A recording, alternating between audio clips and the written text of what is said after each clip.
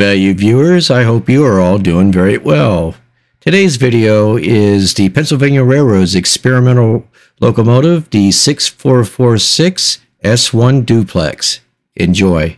Steam locomotive designers, in their ever continuing search for increased power, came up with a number of experimental engines such as the Pennsylvania's Radical S1 Duplex. The Duplex, a non articulated double locomotive, was one of the last schemes pursued to save steam superiority over diesels. So there were a lot of people that talked about such locomotives within the industry, but the Pennsylvania Railroad was one of the few railroads who really took action on these. Still, the diesel machines kept on coming. So when the Pennsylvania Railroad came out with their experimental S1 in 1939, it really demonstrated a strong belief in their steam program.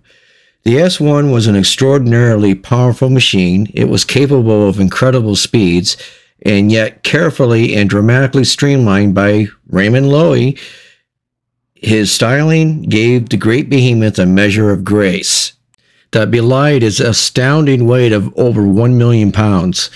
The task of creating a visually pleasing show for such a giantess was an accomplishment for which Loewy deserves much praise. And one of the major things that Loewy did for this design was he intentionally kept the ornamentation on the S1 to a bare minimum, unlike other streamlines of the era, and that was to stress the locomotive's monolithic brute power. After its completion in 1939 at the Pennsylvania Railroad's famous Altoona shops, the S1 was exhibited at the World's Fair in New York. Here, curious fairgoers gathered around to stare at it while the locomotive was busy churning and steaming away on special treadmill to simulate actual running. After a stint at the fair, the experimental engine worked a section of the Pennsy from Chicago to Crestline, Ohio. This section of track was chosen because of its long tangent track and open clearances. The S1 could not operate anywhere else on the system due to its long rigid frame and while it ran, it was the fastest non-articulated locomotive ever built. R.P. Johnson of the Baldwin Locomotive Works was the principal engineering designer of the S1 duplex uh, type locomotive. The original design of the duplex locomotive was for 16 wheels, but the Pennsylvania Railroad engineers found that totally inadequate for what they wanted on the roads. And so the Pennsylvania Railroad came back to Baldwin with the 6446 wheel arrangement design. And Baldwin actually never built the locomotive. The S1 was actually built in the Pennsylvania Railroad's Altoona workshops. So not only was the S1 duplex the fastest locomotive that hit the rails, it was also the largest rigid frame passenger engine ever built.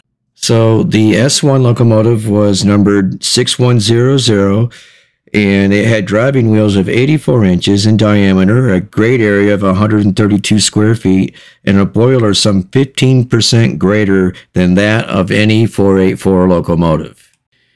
Basically, it was essentially an engine for developing high power and at high speed. And because of the S1's participation at the World's Fair, it actually didn't enter service until December of 1940. The S1 was intended for everyday duty on all of the Pennsylvania Railroad's lines. And unfortunately, the great length of the locomotive itself prevented it from going on the curved lines of the Pennsylvania Railroad. So, in other words, the locomotive was too long to navigate curves on much of the Pennsylvania Railroad's uh, main line. And furthermore, the locomotive was further restricted on to certain lines because Originally, the design called for 67,500 pound axle load. However, the when completed, the locomotive was 73,880 pounds, and simply put, it's too heavy for some of the track line. And as a result of these issues, the locomotive was limited to the 283 mile Crestline to Chicago division, on which it proved capable of hauling 1,225 tons at an average speed of 66 miles an hour. With smaller loads, the locomotive achieved very high speeds, and although the Pennsylvania Railroad and its official locomotive historian were silent on the subject, it was widely believed to have exceeded 120 miles an hour on many occasions. There were, however, problems, particularly with slipping, not helped by the fact that only 40% of the total engine weight was carried on the driving wheels, which is not good at all. In comparison, the much older K4 locomotives on the Pennsylvania Railroad had 65% of their weight over the driver. And despite the limited and variable experience gained by the Pennsylvania Railroad with the S1, they went ahead and ordered two more duplex locomotives from Baldwin in July of 1940. The performance requirement was reduced to the haulage of 880 tons and 100 miles an hour, and this could be met and that was met by the 4444 T1 locomotive. And subsequently, that order did become the T1 class. The benefits of a duplex design included lighter machinery, shorter cylinder strokes, less wear, lower piston thrust, smaller, more efficient cylinders, and a more stable frame than an articulated underframe. Also, no hinge connection had to be maintained and also reduced hammer blows on the track resulted in lo lower maintenance cost. Two sets of drivers with four-wheel each could have lighter running gear than a locomotive with all four axles coupled together. Smaller and lighter moving parts ensured less wear and tear.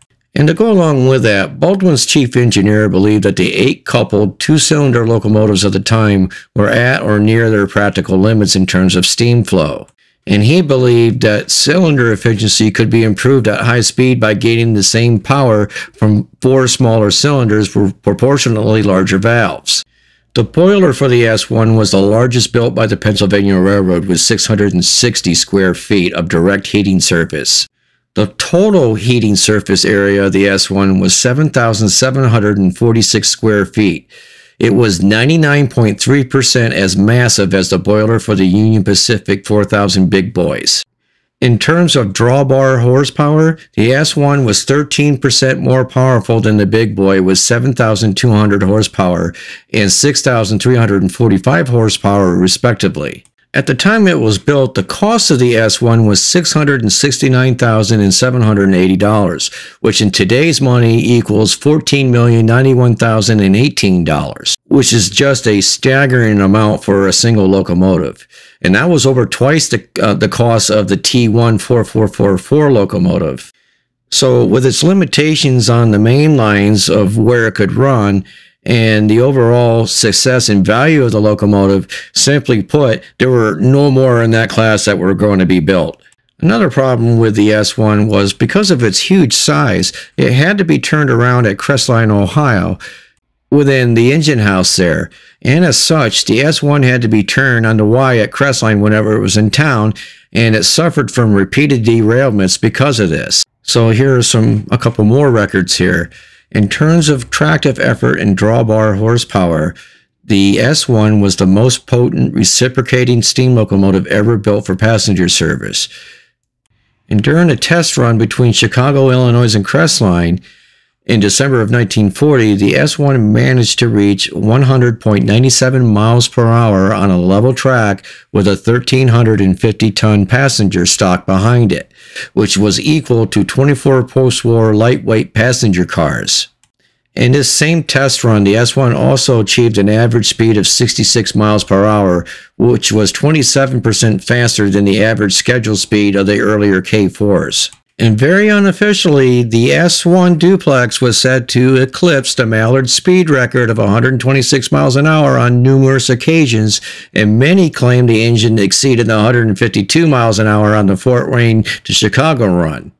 The S1 duplex managed to serve between Chicago and Crestline, Ohio for almost five and a half years, and that made it the longest serving record among all experimental steam engine prototypes of the Pennsylvania Railroad, and that's including the Q1 and the S2. So with that, the following specifications apply to the Pennsylvania Railroad's S1 6446 duplex locomotive. The overall length was 140 feet 2.5 inches. The width was a slender 10 feet 7 inches. The height was 16 feet. The main drivers were 84 inches. The lead diameter bogie was 36 in inches. The trailing diameter bogies were 42 inches. The adhesive weight was 281,440 pounds. The locomotive itself weight was 608,170 pounds, so you can see where that adhesive weight is substantially lower than what it should be. The tender weight when it was empty was 197,000 pounds, and And the total weight of the locomotive and tender was 1,060,000 pounds. The tender type was a 250 P84 16 wheel tender. The fuel type was coal. The fuel capacity was 52,900 pounds. The water capacity was 24,230 US gallons. The firebox grate area was 132 square feet. The boiler was 100 inches. The boiler pressure was 300 psi. The heating surface total was 7,746 square feet. The firebox itself was 660 square feet. The cylinders were four, and the cylinder size were 22 inches by 26 inches. Walschaerts valve gears were used. The claimed actual maximum speed was 141 miles an hour. The power output was 7,200 horsepower when hauling 1,200 tons at 100 miles an hour.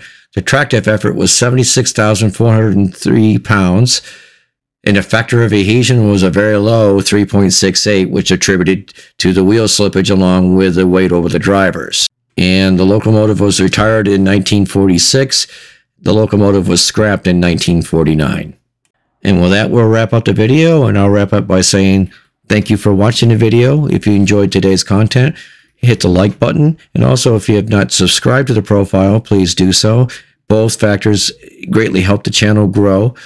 And also turn on all of your notifications if you want to see all of my uploads, which is one or two uploads a day. And visit our print shop at Nickel Plate Limited at Etsy.com if you want to support the channel in that way. And we thank you once again.